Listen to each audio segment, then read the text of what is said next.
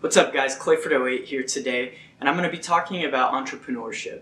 I wrote an article about that today, giving the four things that you need to know when trying to start your own business. And the first thing that I talked about was um, basically networking. And what I mean by that is conversing with other people about the ideas that you have for your business. Now, obviously, you don't want to give away all of your tips you don't want to talk about your entire business model because then somebody could steal that from you. So you have to be very careful with who you talk to about your actual venture. However, you need people that are going to back your business whenever it starts. So, what I mean by networking is getting to know people that have similar interests to what you have. And so that requires you to go out and talk to people on social media, um, text chats, voice chats, going out into the going out into public and meeting people at maybe trade shows, um, what what have you. There's always an opportunity to meet new people in new industries, and so if you're trying to start your own business, that is the number one thing that you have to conquer networking. I don't want to stress any more of what I already talked about in my in my post today, but I wanted to go over a few statistics that I was looking at. So, one of the first cool statistics that I found out is that women now make up 30 36% more entrepreneurs than they did 10 years ago in 2007. And the United States is actually leading the way in that charge. The United States has more entrepreneurial women than any country in the world right now. Now, the United States is not one of the largest entrepreneur countries in the world, so that's actually a really awesome statistic, seeing that women are starting to lead the charge in this. Now, of of all the people in the world, only one out of 18 are entrepreneurs. So, one out of every 18 people in the world are entrepreneurs. 1%, less than 1% of those people come from rich families. So, basically, what I'm trying to tell you is that anybody can be an entrepreneur. You don't have to come from a wealthy background. You don't have to have incredible capital to start out your venture. Now, if you don't have capital to start your venture, you're going to need to get that. And I talked about that in my post. I want to kind of go a little bit more in depth about that aspect. And the best way to seek capital for a brand new business is actually from friends and family. And there are two ways that you can go about that but you need to be very careful about how you do so. So, the first way is you can get a loan from a friend or family, but you need to be very specific whenever you receive that money about asking how you need to pay that back and when it will be due. The second way is gifting. Friends and family can gift you the money to start your business and when you're talking to your friends and family about receiving that capital, you need to be very clear and concise and ask exactly what it is that they're giving to you. Because if they just give you money to start your business and there's no expectation as to what they get in return, they might come crawling back and asking later on for that money back. So you need to be very clear whenever you're talking to them about receiving those funds. The other way is obviously getting credit, and you can take out a loan or get a credit business line. I, I highly encourage against going away from that because it there is a 90 well closer to 80% now there's an 80% chance that your startup, if you do a startup, will fail. And so you need to be able to take on that risk. And you can lower the risk if you don't take out a loan and just start from scratch. So I highly encourage against getting a loan or a business line of credit. But if you have to do so and you have a really great idea and other people think that you have a really great idea, then it might be beneficial for you to do that. That's really based on your perception, and nobody else can tell you what to do in that aspect. So that's going to be based on your situation and your perception of the situation.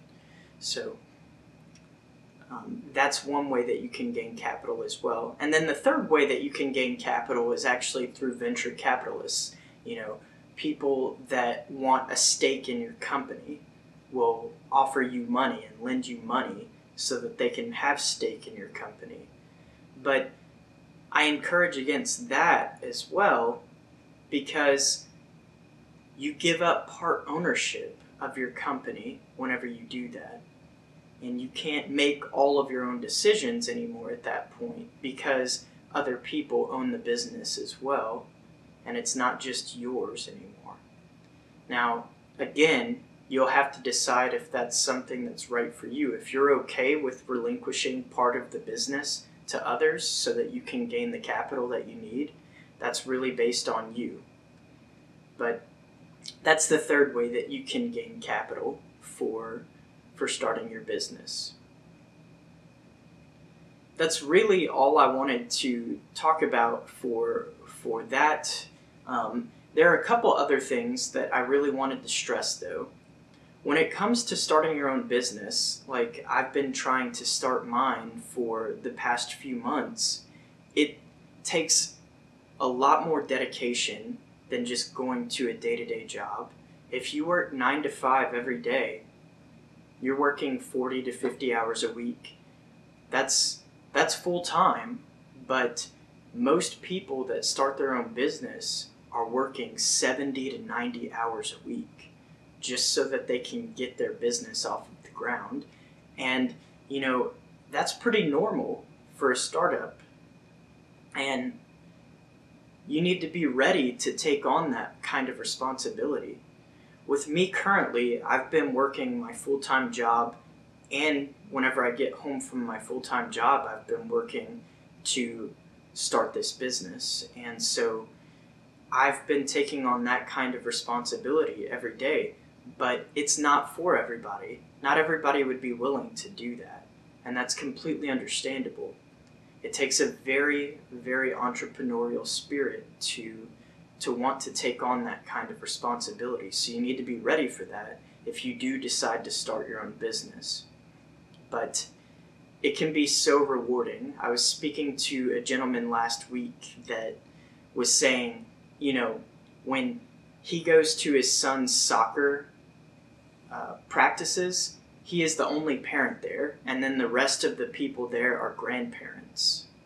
So that's one aspect that you can think about. You know, if if you're a young person and you're not even thinking about starting kids, that really doesn't apply to you. But maybe if you start your business now and later on want to have kids, by that time your business should already be succeeding and you you won't have to be working as many hours anyways so that could be a really great aspect for you but for those of you that do have children or thinking about having children in the in the near present then that might be a really appealing thought to you for me i know eventually my wife and i are going to be having kids and i want to be able to I want to be able to spend time with them, and I want to be able to do that during the day on my terms.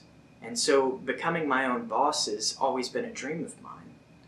But again, it's not for everybody because I know that even if I do get to experience those those life's greatest gifts, you know, I still am going to have to bust my butt directly after that, making sure that my business is still running properly. So it's all in responsibility on yourself. And at the same time, you don't have anybody telling you the things that need to be done on a day to day basis. You have to decide what gets done on that specific day. And so if you're not responsible in that aspect, then maybe owning a business isn't right for you. If, if you go to work and have to be told exactly what needs to be done every single day, then maybe owning a business isn't right for you. So these are all things that you have to think about when starting your own business. I'm going to continue making these videos about entrepreneurship and what it takes to own a business as I grow my business because this is really exciting for me to talk about. Last week I got to meet a lot of entrepreneurs, a lot of business owners, and a lot of people that want to start their own businesses. I got to meet quite a few of them last week. And we got to talk and network with one another, and it was a really great experience for me. And I, I love talking about these things with these people, but I think I'm going to continue making these videos and encouraging those that would like to start their own business to do so. So, if this helped anybody that is thinking about starting their own business, or if it dissuaded you because you don't want to take on those types of responsibilities, let me know in the comments below. I'd love to hear from you. Also, you can join our Discord server and talk about your personal experiences. If you are an entrepreneur, I'd love to hear from you. I'd love to know what your business model is and what it is that you do. That's going to be it for today, though. Clayford 08